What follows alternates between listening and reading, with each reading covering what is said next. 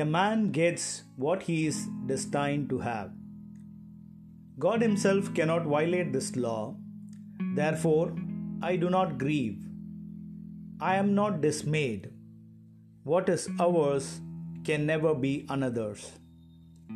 In this video, I would like to narrate a story from Panchatantra, supposedly written by Vishnu Sharma and translated into English by Chandra Rajan. The tale of the man who received what was his. This Panchatantra story explains Markali's, that is Arapeyar Sattan's, philosophy of fate or niyati or vidhi. In a certain city, there lived a merchant by name Sagara Datta, whose son picked up a book which was on sale for 100 rupees. In it was written just one line of a verse A man gets what he is destined to have. Reading that, Datta asked his son, My dear boy, how much did you buy this book for? And his son replied, For a hundred rupees, Dad. What? shouted his father. You fool! You went and paid 100 rupees for a book which had one line in it? With this kind of intelligence, how will you ever acquire wealth?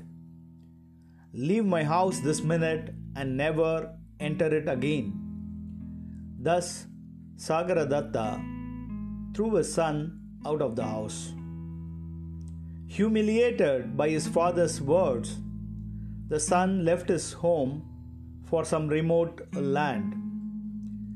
After some days, a native of that land approached him and inquired, Sir, where have you come from? And what is your name? And the young man answered, The man who receives his deserts. And he came to be known as just deserts. Now, one day, Princess Moonlight stood with her friend looking out at the city.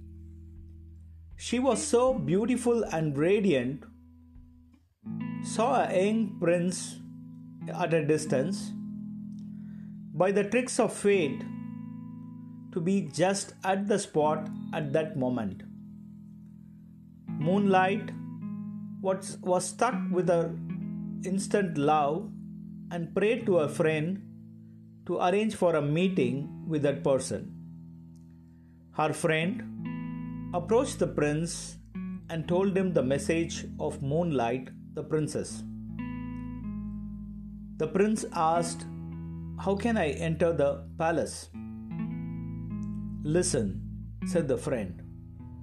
At night, you will see a stout ladder of woven leather hanging from a upper balcony of the palace for you to climb.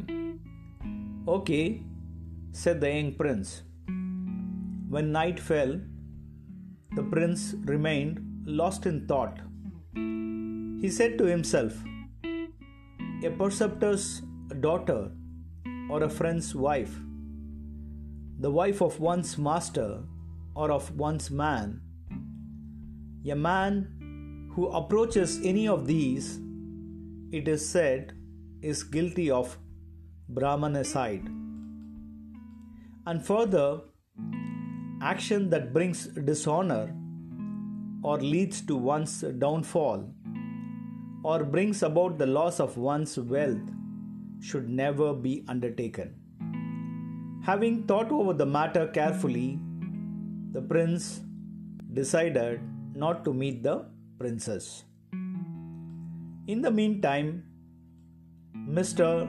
Just Deserts, who was roaming around in the city at night, noticed the ladder of woven leather hanging from the balcony of the palace.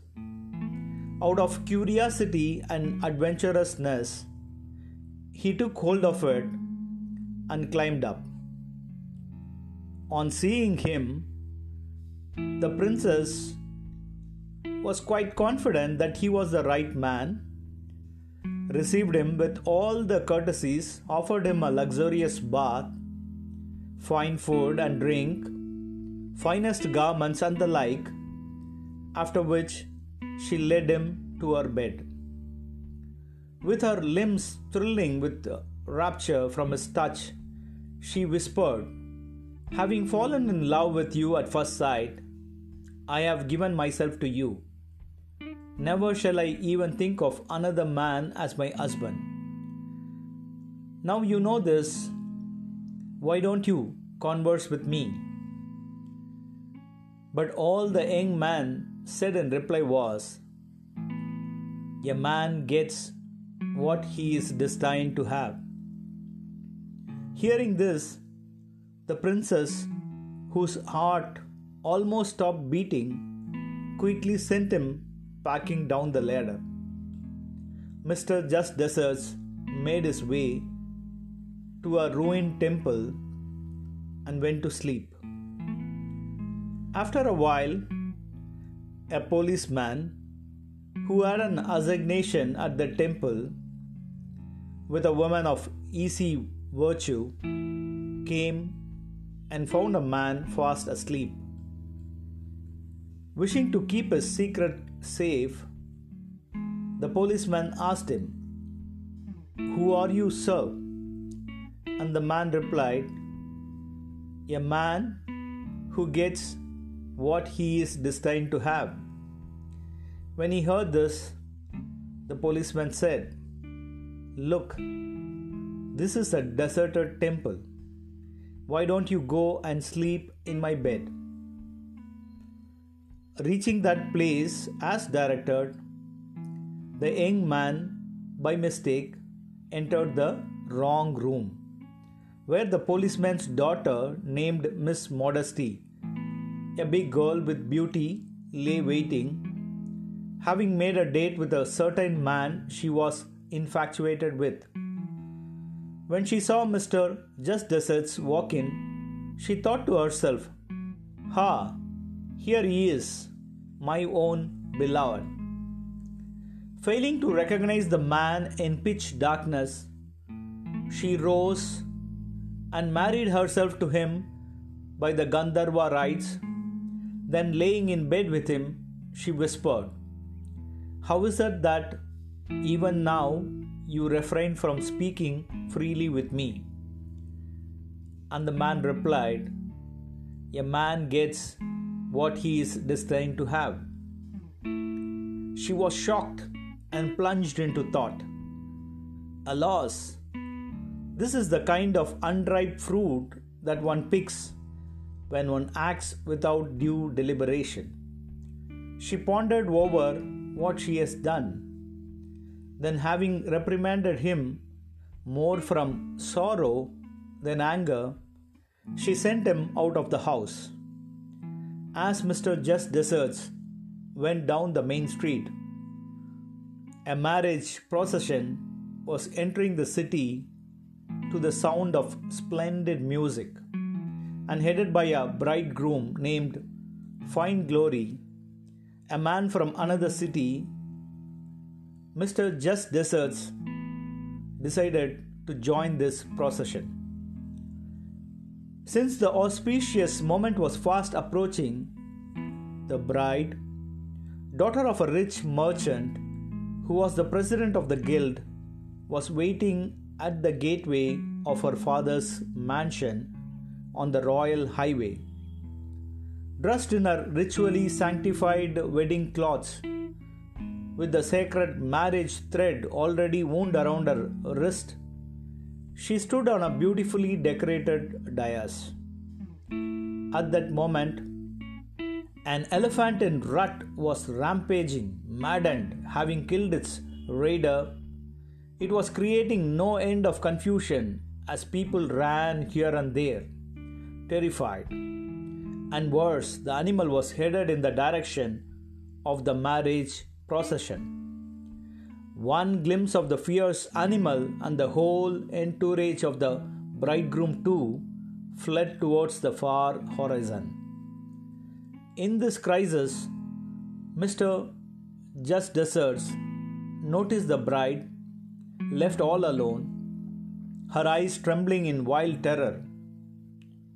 Don't be afraid, I shall protect you, he said in a resolute and reassuring tone. Then, putting his right arm round the bride, he addressed the elephant with admirable boldness, severely taking it to task for the animal actually retreated and left the place. In the meantime, seeing the coast clear, the bridegroom, fine glory, with his entourage of relatives and friends, arrived well past the auspicious time set for the wedding. And what does he see but his bride to be held by another man? He looked around and noticing the bride's father, remarked sharply, Hey, father in law, sir, what is that that you have done? It is hardly right that you should promise me your daughter in marriage and then give her to this man.